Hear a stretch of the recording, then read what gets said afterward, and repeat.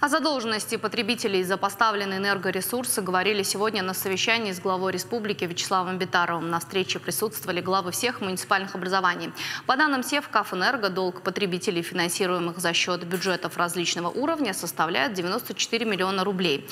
К примеру, в Моздокском районе за последние два месяца недоплата достигла почти 3 миллионов рублей. В Иравском же задолженность выросла до 12 миллионов рублей. А вот данные Минфина говорят о более благополучной ситуации с платежами. Да и сами главы утверждают, что исправно платят.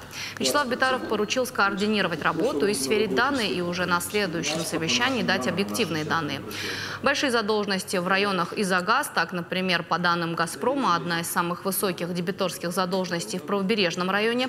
На 1 марта долг составил почти 13 миллионов рублей. Вячеслав Битаров в сложившейся ситуации оказался крайне недоволен и поручил ликвидировать все долги в кратчайшие сроки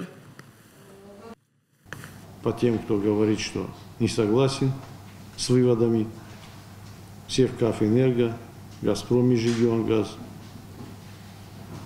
Вызывайте сейчас же своих финансистов, ответственных людей, и пускай едут в Севкаф Энерго, Газпром Межрегионгаз и разбираются.